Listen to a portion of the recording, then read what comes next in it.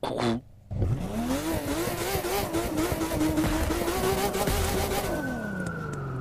Et voilà, après une intro incroyable, et eh bien salut à tous, c'est Aurélien, on se retrouve aujourd'hui pour une nouvelle vidéo sur The Crew 2 pour la customisation et le test de la Porsche 935 2 litres coupé Baby, une voiture euh, plutôt sympathique, hein. c'est une vieille touring car, mais voilà, c'est une touring car et on va voir ce qu'elle donne parce que ça fait un moment que la Lamborghini Gallardo elle est première. Donc voilà, je vous montre le réglage actuellement, bon comme d'hab les stats des fois ils partent un peu en couille, mais euh, vous prenez ça normalement il est plutôt bon, c'est X qui me l'a donné. Euh, d'ailleurs, je vous expliquerai pendant les courses ce qu'on peut faire un peu, donc on va voir s'il n'y a pas des petites jantes là qui peuvent aller. On va vite fait se la customiser et après on ira se la tester. Bon allez, ça c'est pas trop mal comme jante, ça correspond un peu au style de la voiture. Donc c'est plutôt cool. Bon, maintenant on va voir un petit peu ce qu'on a en livret. Ouais, c'est sympa. Il y, a... Oh, bah, il y a déjà des belles livrets, punaise. Pour une fois. Bah écoutez, pour l'instant, le haut du panier est plutôt sympa. Hein. Il y a plutôt des belles livrées, c'est pas sur toutes les voitures que, c'est le cas. Hein. On va prendre la première qui était plutôt sympathique, ça l'habille bien, donc c'est plutôt cool. Allez, puis on lui met des petits pneus, enfin les faux flancs blancs là, qui peuvent bien aller comme il faut. Hein. Ouais, il a rien d'autre de toute façon qui ira mieux. Euh, ça fait 10 minutes que je choisis des pneus, là c'est presque honteux. Allez, petite fumée et tout au pif. On va se tester sur le premier circuit et comme d'habitude, vous savez quand euh, Touring Car, j'adore ce circuit. C'est, je pense, mon circuit de Touring Car le préféré. C'est euh, Jersey, voilà, circuit de Jersey Everison. Je savais plus s'il y avait un Jersey City parce qu'il y a une course d'Alpha GP qui s'appelle Jersey City. Enfin bref, vous savez que j'adore cette course. Elle est insane. Donc bah ça, vu que je la connais bien, ça nous permettra de voir si euh, la voiture est vraiment bonne ou pas en claquant le chrono. Bon, la piste a l'air un peu humide, mais ça a l'air juste visuel, donc on va voir. Mais euh, à mon avis, cette voiture a l'air pas mal. Elle est plutôt cheatée, il paraît, donc euh, je l'ai pas trop testé encore avant. Mais voilà, X m'a dit qu'elle était vachement cheatée. Donc on va voir vraiment le chrono qu'on peut taper. Déjà on tape ici presque 400 et on a encore de la place. Rappelons qu'on a euh, du coup mis le réglage de X avec une boîte, euh, un cran de vitesse max en moins. Donc du coup, c'est pas trop mal tout ça. Hop, bah écoutez, niveau accès c'est déjà bien, ça tourne plutôt bien, elle est légère.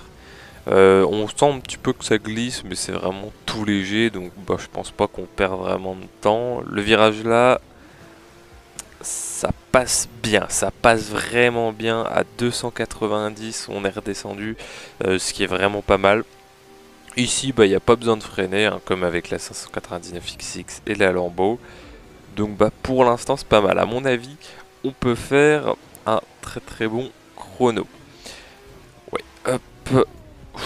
Ouais, là, je fais un peu de la merde. On a perdu, je pense, une ou deux petites secondes avec cette erreur. Mais bon, c'est pas grave. Au pire, on les retirera au chrono à la fin.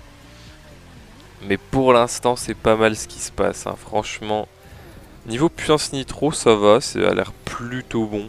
En tout cas, X m'a pas dit que c'était mauvais. donc ça va. Ouais, allez, là on passe à, 3, à plus de 305, presque 310 même, donc ouais, elle a vraiment beaucoup d'appui. Elle est ouf, elle est ouf pour l'instant de ce que je peux tester, elle est incroyable. Donc bah déjà là je peux vous dire que je kiffe. Oh là là, le mont... Oula, ça c'était pas ouf par contre. Hop. Allez, on a 80%, 81 même. Et il nous reste à peu près une vingtaine de secondes pour battre notre record. Bon, même s'il est plus dans le classement. Mais bon, allez, mon record, c'était sur ce circuit en Lamborghini Gallardo Super Trophée aux alentours des 2.21 700, je crois, si je dis pas de conneries. Oh la vache, c'est passé à plus de 315 là. Et on tape 2.18, mec. 2.18 en faisant des petites erreurs. À mon avis, les 2.16 étaient faisables. Donc 2.18, bah putain, déjà là, mec, euh, ça c'est du chrono. Du coup, on va partir la tester sur The Giants. Et euh, bah, on va voir ce que ça peut faire encore comme chrono. C'est parti, alors pour ceux qui se demanderaient encore une fois est-ce que mon jeu remarche, la réponse est toujours non. Je vous le dirai le jour où mon jeu remarchera, de toute façon il y aura sûrement un patch hein, pour euh, que le jeu remarche, parce qu'il est obligé d'avoir une mise à jour pour que mon jeu remarche. Bref, euh, du coup c'est toujours X qui m'aide, alors là c'est là moi qui commande, c'est moi qui joue, parce que euh, il fait tout simplement un jeu en partage, ce qui me permet de jouer sur son jeu, sur euh, c'est comme si je jouais sur sa console si vous préférez. Mais voilà, je le redis, mais je vais pas l'expliquer à chaque vidéo vu qu'on me le demande souvent, mais bon, je l'ai quand même expliqué dans les 5 dernières vidéos, donc je vais pas l'expliquer à chaque vidéo. Euh, voilà, juste pour la petite précision. Bon allez, on va essayer de faire un bon chrono. du coup, X m'a dit de vous dire quand même des petites choses sur cette voiture, voilà, parce qu'il m'a bien informé et tout, vu que lui il l'a bien tryhard comme il faut. Donc on a déjà la euh, voiture avec la plus grosse VMAX du jeu en termes de touring car. Euh, on est sur euh, du 474 km/h avec aspiration, donc ça le run ce sera tout à la fin non commenté, les 474 km/h, vu que bah, c'est lui qui l'a fait. Bon, par contre, là, je fais bien de la merde comme il faut. à mon avis, on se recommencera ça. Euh, ensuite, bah, il m'a dit de vous dire que euh, c'est l'une des seules voitures quasiment où on peut vraiment diminuer bien la boîte de vitesse comme il faut. Donc si vous diminuez de 1 cran la boîte de vitesse comme actuellement là, vous gagnerez un petit peu en accélération. À skip en puissance nitro, hein, c'est lui qui le dit, donc si jamais c'est faux, c'est lui qu'il faut taper. Euh, donc en puissance nitro, si vous diminuez de 2 crans, euh, vous gardez quand même une bonne vitesse max, que dans tous les cas vous n'atteindrez quasiment jamais sur des circuits. Donc voilà, diminuer de 1 cran ou de la boîte de vitesse selon le circuit, ce sera bah, assez bien parce qu'elle a vraiment une Vmax incroyable. Sans nitro, elle tape 460 km/h, enfin avec nitro pardon, enfin elle pourrait les atteindre sans même, elle tape 460 km/h sans aspiration. Donc euh, elle rupte à 460 quand elle a de la nitro, donc c'est déjà plutôt insane là-dessus. On a clairement la voiture la plus dingue du jeu en termes euh, de Vmax sur les touring cars. Donc là-dessus c'est pas trop mal.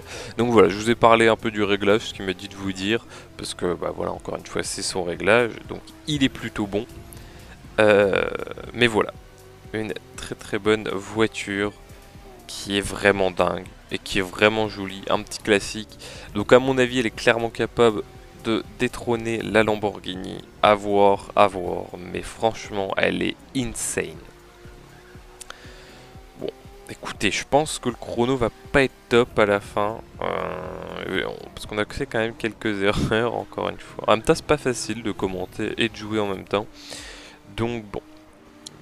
Ouais, là ça passe bien, elle passe bien quand même. Vous voyez qu'on a tendance un petit peu à drifter, mais c'est assez léger, donc c'est pas dérangeant.